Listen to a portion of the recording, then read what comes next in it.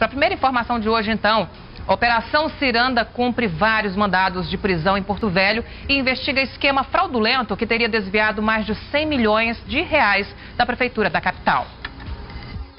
Logo nas primeiras horas da manhã, policiais e agentes da Controladoria Geral da União estiveram na Secretaria Municipal de Educação. Eles recolheram documentos e deram voz de prisão ao secretário Marco Aurélio Marques e ao adjunto dele, Erivaldo de Souza, que, de acordo com as investigações, tinham conhecimento das irregularidades e não impediram os desvios. Outras nove pessoas, entre empresários, servidores e laranjas, também foram detidos e encaminhados para a Superintendência da Polícia Federal em Porto Velho. O alvo da investigação foi a contratação do Serviço de Transporte Escolar Fluvial, que atende estudantes da rede municipal.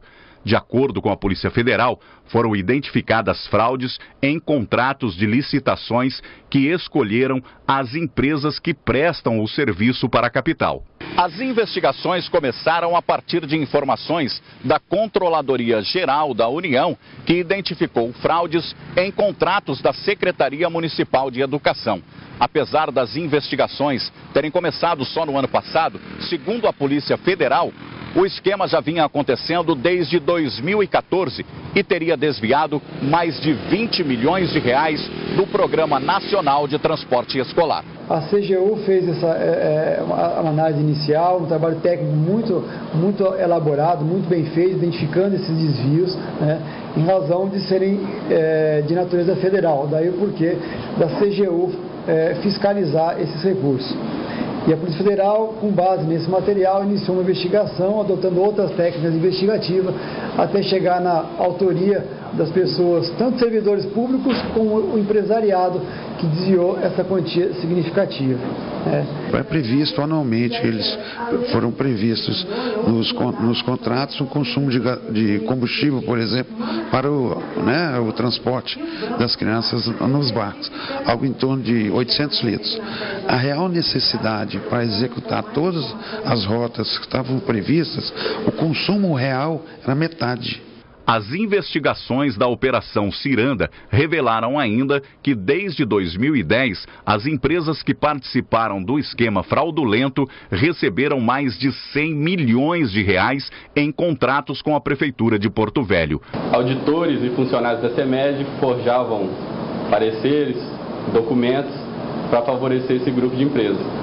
Ao todo, foram cumpridos 55 mandados judiciais, 29 de busca e apreensão e 16 de sequestro e indisponibilidade de bens. Após serem ouvidos na sede da Polícia Federal, os suspeitos foram encaminhados a presídios estaduais e devem responder pelos crimes de organização criminosa, fraude à licitação, corrupção ativa e passiva e lavagem de dinheiro. E numa coletiva de imprensa, o prefeito de Porto Velho disse que não havia outra alternativa que não fosse a renovação de contrato com as empresas investigadas. Durante a entrevista coletiva, o prefeito Hildon Chaves falou da operação e disse que já tinha sido notificado pela CGU sobre as contratações dessas empresas. Na verdade, a própria CGU nos concedeu um prazo de seis meses. É, fomos notificados em, no dia 15 de dezembro desse levantamento, é, deste contrato, que esse, esse, é um contrato já muito antigo na prefeitura, já foi firmado em gestões anteriores e ele vinha sendo, vinha sendo renovado até por se tratar de um serviço essencial de um serviço de prestação contínua, que é o transporte de alunos, é, o transporte fluvial é, nos, nossos, nos nossos rios. São 2.500 alunos, é, foram apontadas irregularidades, a Prefeitura, a Secretaria da Educação instaurou, criou uma comissão para o acompanhamento dessas inconformidades apontadas e não havia, em momento algum, nenhuma determinação ou alguma recomendação da CGM para que o contrato não fosse renovado. Ele disse que ficou surpreso com a prisão do secretário, mas sabia que a renovação com as empresas que estavam sendo investigadas tinha sido feita, já que não tinha outra alternativa. É, ele não tinha opção. Eu estou surpreso com, com a prisão dele. Eu não, não, eu não, não vejo agora, eu não, não conheço os fatos. O inquérito está sob sigilo, eu não tenho é, conhecimento total da situação. Ao, ao que aparenta, é, é este o motivo principal. O novo contrato terá que ser feito de forma emergencial para que os estudantes não fiquem sem transporte. Segundo o Hildo, diversas empresas já mostraram interesse.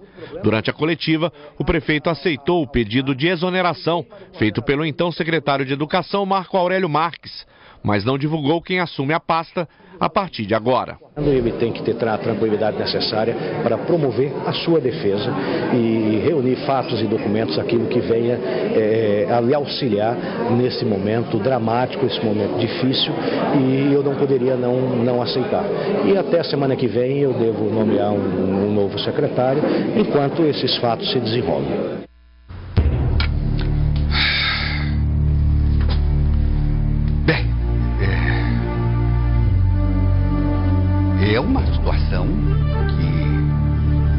Que, a gente não podia imaginar que chegaria a tanto. Que a coisa não estava funcionando, não estava funcionando. E mesmo com esse superfaturamento, segundo falou ali o próprio, acho que foi o delegado da, Polícia Federal, dizendo que com a metade do valor dava para atender perfeitamente a demanda que exigia na área, na, na, serviço de transporte fluvial. E mesmo assim, mesmo superfaturando, as empresas não conseguiam oferecer um serviço digno à, enorme clientela de jovens que moram aí no, ao longo do, do, do, do Rio Madeira, do Baixo Madeira. Não é para se fazer nenhum juízo de valor. Mas nem vou fazer aqui porque não vou cair nesta nessa armadilha já de querer começar a brincar de Deus aqui. Mas nem de juiz, não, de Deus. Querendo condenar o secretário municipal de educação. Já até eu critiquei algumas vezes aqui pela, pela apuração dele, por falta de ação, mas jamais, jamais sairá desta santa boquinha aqui qualquer juízo de valor, qualquer acusação contra esse jovem, contra esse rapaz. Que ele errou, imagino que deva ter errado. O prefeito está dizendo ali. Se bem que, quer dizer, o prefeito não, não disse isso que ele errou, mas disse que, que deveria ter. Não havia outra saída senão, senão é, renovar o contrato. Eu, eu, já, eu já ponho uma vírgula. E, e aí o que, o que eu quero dizer, o que, o que pecou o secretário por ingenuidade. Porque se a prefeitura sabia que tais contratos estavam sob investigação, que havia dúvidas com relação a esses contratos, se a própria Controladoria Geral do município sabia que havia malversação, que havia superfaturamento, o que, o que poderia ter sido feito nessa hora? Uma das coisas, o prefeito mesmo respondeu: contratação emergencial. Porque se o Ministério Público está sabendo, se a Polícia Federal está sabendo, se o Judiciário está sabendo que as investigações estão em curso, não renova o contrato do jeito que foi renovado. Tanto é, viu, Meire? Tanto é, palavra do próprio superintendente. O que, que ele diz ali? Nós não mandamos suspender o, o, o, o contrato. Certamente estão glosando os valores todos, vão pagar a menor, o resto vai, vai ficar lá, sei, sei lá, em depósito judiciário, fica para acertar depois. Mas é aquilo que eu sempre disse aqui. Tem, tem problema na obra? Não para a obra. Manda construir a obra, continuar com a obra, depois prende todo mundo. Mas quem não pode ser prejudicado é a, é a população. E olha, é a primeira vez que eu vejo, pelo menos explicitamente, eu não lembro, eu, eu, eu posso até, pode, pode até ter acontecido, mas eu não lembro de uma operação dessas, do, desse vulto. A Polícia Federal dizendo, não, estamos investigando, então vão responder processo, o fulano está preso, preso, preso, preso, mas vai continuar o serviço, só que com pagamentos que, que vão ser feitos dentro de uma realidade. Lá no final é que se vai se dizer quem roubou, eh, roubou, quem não roubou, não roubou. Mas quem não pode ser prejudicado é a, é a criançada. É, é, é o público alvo desse contrato. O objeto desse contrato. Agora, tem um outro detalhe. O prefeito já está dizendo, contrato não vai continuar, vai fazer uma contratação emergencial, está perfeito. Então, a ingenuidade do secretário, e aí eu, eu isso aí eu, eu afirmo, vai deixar, terminou o contrato, não vou, não vou renovar. Vamos fazer uma, uma, uma emergencial, chama o Ministério Público, chama a Polícia Federal e faz um acordo, faz um táxi, sei lá o que, que faz, mas faz alguma coisa para dizer, olha, o pobre do secretário, ingenuamente, não, não, não acredito que ele usou de má fé, mas não acredito mesmo que ele usou de má fé, foi renovar o contrato pura e simplesmente. Ah, era essencial, mas não podia botar a assinatura dele em algo que está sob os olhos da Polícia Federal. Deu cadeia. Mas claro que ia dar. O prefeito é homem que veio do Ministério Público, sabe como é que são essas coisas. Claro que o prefeito não vai admitir isso de público para não, não comprometer o pobre do secretário.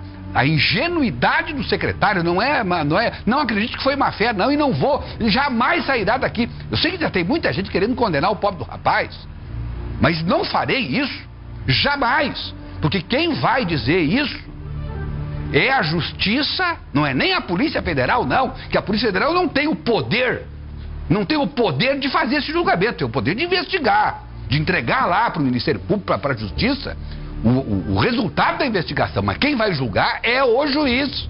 Em primeira instância, em segunda instância e em terceira instância, se for o caso. Porque tem que prevalecer aí, acima de tudo, a presunção da inocência. Isso é o mais importante disso. E não vale só para o secretário, não. Vale para todos. Agora, eu posso dizer que sirva inclusive de lição para os demais, caso no futuro ocorra alguma coisa, seja no município de Porto Velho, seja em algum município do interior, seja no estado, chama as autoridades, olha, esse serviço que não pode parar. O contrato, vocês acham que tem problema? Tem problema então. Mas como é que eu faço? Quer dizer, e faz o, o acordo com as autoridades, inclusive com, com, com o judiciário junto. Quer dizer, jamais Jamais. Se eu sou um assessor do, do, do prefeito, eu digo não assine, do secretário, eu digo não assine isso, não. Não faça desse jeito. Faltou alguém ser amigo do secretário, dizer, segurar a mão dele dizer, não assine, não assine. Porque agora vai ser resolvido tranquilo. Vão fazer um emergencial com todo mundo concordando. Mais do que isso, a própria Polícia Federal está dizendo: segue o barco. Que poderia ter sido essa decisão, inclusive. Chegar lá, ó, vocês estão investigando, não estão? Ele foi avisado, o delegado, o delegado disse isso, disse isso hoje. Ele foi avisado que o contrato estava sob suspeita.